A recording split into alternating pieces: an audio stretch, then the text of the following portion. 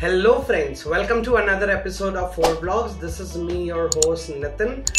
तो गाइस आज एक बहुत ही महत्वपूर्ण टॉपिक के ऊपर हम लोग बात करने वाले हैं वो है रॉयल एनफील्ड की डिलीवरीज को लेके तो आज इसके ऊपर पूरा अपडेट दूँगा क्या चल रहा है क्या स्टेटस है और क्या रॉयल एनफील्ड ने बदलाव किए हैं अपने मैकेनिज्म में क्या डिलीवरीज बेहतर हो रही हैं या हो जाएँगी या क्या होने वाला है? तो इसके ऊपर करेंगे आज पूरी बात, लेकिन उससे पहले जिन्होंने अभी तक चैनल को सब्सक्राइब नहीं करा है प्लीज़ का इस चैनल को सब्सक्राइब कीजिए।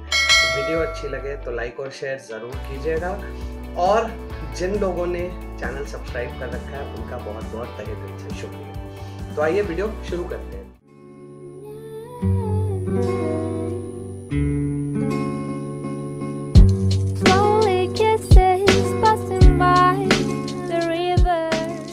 तो गाइज़ आपको बता दूँ कि रॉयल एनफील्ड जैसा कि आपको पता है कि पिछले साल ड्यूरिंग कोविड लॉकडाउन और कोविड के बाद पोस्ट कोविड ओपनिंग डिलीवरीज को लेके काफ़ी ज़्यादा इश्यूज़ आ रहे थे और मेनली जो डिलीवरी के इश्यूज़ थे, वो सबसे ज़्यादा आ रहे थे मीटियोर 350 में और क्लासिक 350 में।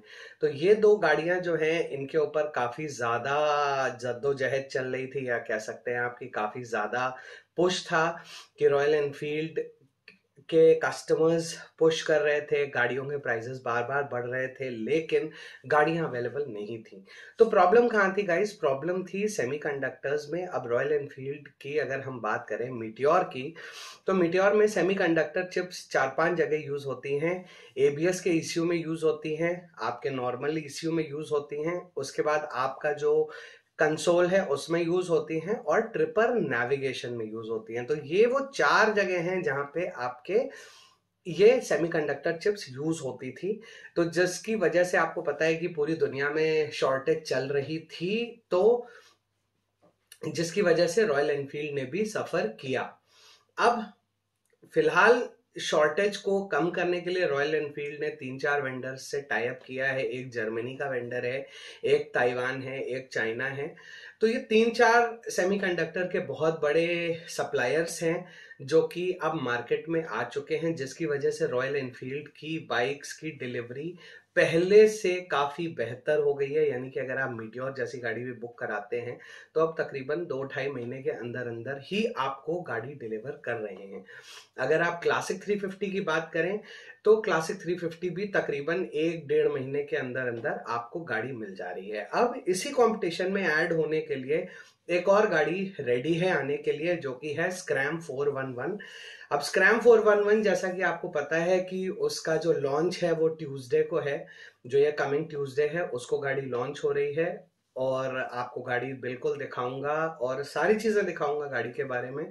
जैसा कि आपको पता है कि गाड़ी हम लोगों को देखने को मिली भी थी बट क्योंकि हम भी चाहते हैं कि royal as a true Royal Enfield fans की आपको इस बार गाड़ी रॉयल एनफील्ड के थ्रू ही मिले। अब हम इस बार यही चाहते हैं कि आपको इस बार सबसे पहली और सारे अपडेट्स रॉयल एनफील्ड के थ्रू ही मिले। तो हम थोड़ा सा आपको अपडेट्स आप देख रहे होंगे कि मैं आपको नहीं दे रहा हूँ। हालाँकि गाड़ी बहुत अच्छी है। अब आपको बता देता हूँ, इस गाड़ी में क्या चेंजेस हैं। गाड़ी में सिर्फ़ हिमालयन जो का जो स्टैंडर्ड इंजन आता था, वही इंजन है। थोड़ा सा डिज़ाइन में चेंज है, थोड़ा सा स्पेक्स में चेंज है टायर साइजेस में चेंज है और थोड़ा सा आपके कंसोल में चेंज है। जैसे हिमालयन का आपको एक बड़ा वाइड मीटर मिलता था, वो मीटर कंसोल हट के स्क्रैम में आपको मीटियोर का मीटर का कंसोल सेटअप देखने को मिलेगा। अब अगर रॉयल एनफील्ड ने इतना बड़ा कदम उठाया है कि स्क्रैम 411 में मीटियोर का पूरा मीटर का सेटअप लगा रहे हैं वो तो दैट मीन्स कि सेमीकंडक्टर की जो शॉर्टेज है, वो काफ़ी हद तक कम हो चुकी है। हाँ देखिए, लेकिन अगर जिस तरीके से अब आप, अभी आप देख रहे हैं कि यूक्रेन और रशिया के बीच में ये वॉर जारी है क्योंकि यूक्रेन, रशिया जो है, वो सबसे बड़ा सप्लायर है सेमीकंडक्टर के रॉ मटेरियल्स का पूरी दुनिया में।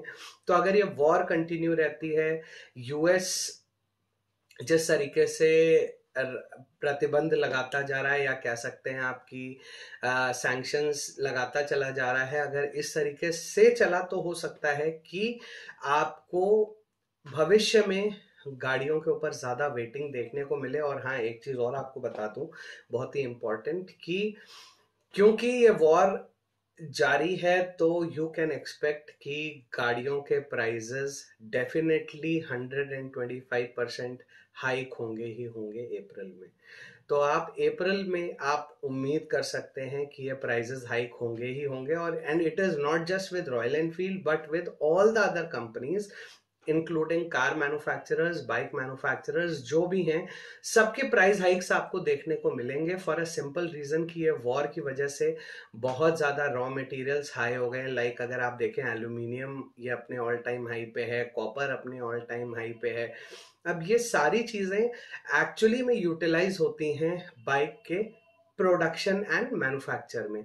तो जिसकी वजह से अब आप उम्मीद कर सकते हैं कि ये गाड़ियाँ काफ़ी ज़्यादा महँगी हो जाने वाली हैं और ये गाड़ियाँ आपको करीबन पाँच से छह हज़ार रुपए तक का फ़र्क देखने को मिल सकता है। इस सेगमेंट में जो सबसे ज़्यादा लीस्ट इफेक्टेड गाड़ी है, वो है हमारी स्टैंडर्ड 350 और बुलेट ईएस e यानी कि जैसे कि आप इलेक्ट्रा भी कहते हैं तो इलेक्ट्रिक स्टार्ट जो है वही दो गाड़ियाँ हैं, क्योंकि उसमें मिनिमम सेमीकंडक्टर्स का यूजेज है और इन्हीं गाड़ियों में आपको मिनिमम वेटिंग देखने को मिल रही है।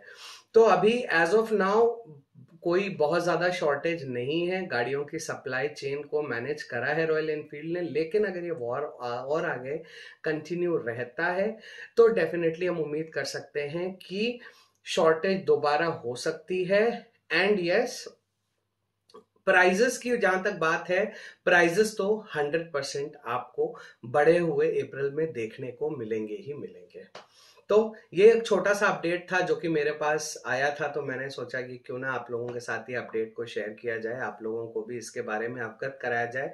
तो अगर आपकी गाड़ी की डिलीवरी प्लान है तो उसे फटाफट ले लीजिए विदाउट अ डाउट क्योंकि अप्रैल में आपको ज़्यादा पैसे खर्च करने पड़ सकते हैं इसी गाड़ी के लिए। सो so, लाता रहूँगा आप लोग के लिए बहुत एक्सक्लूसिव वीडियोस और स्क्रैम 411 के ऊपर एक हम बहुत ही जल्दी एक एक्सक्लूसिव वॉक अराउंड रिव्यू लाने वाले हैं। तो प्लीज़ बने रहिए हमारे साथ। So with this note this is me Nitin and Vivek signing off from four blogs for the day मिलेंगे आपसे बहुत जल्दी एक और नए वीडियो में। Till then stay tuned stay safe stay secure और अपना बहुत ख्याल रखिए।